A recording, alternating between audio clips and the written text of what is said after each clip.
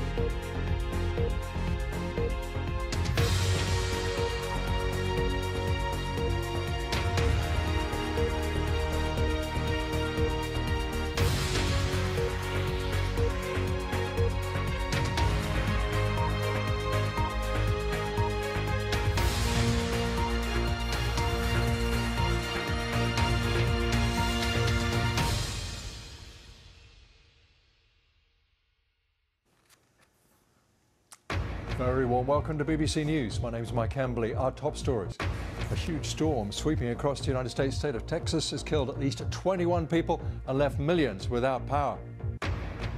Three North Korean computer programmers have been charged with conspiring to steal more than a billion dollars in a global hacking spree.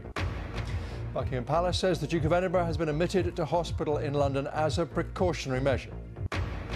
World's first human trials deliberately infecting people with COVID 19 get the go ahead in the UK.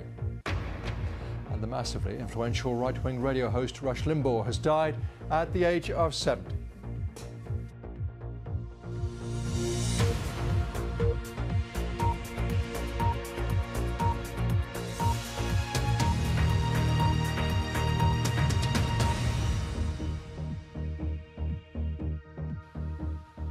Hello to you. The brutal and unexpected winter storms sweeping the south and east of the US have left millions without power and more snow is on the way. Nowhere has been hit harder than Texas. Nearly 3 million Texans are facing a, a third day without light or heat. A blanket of snow has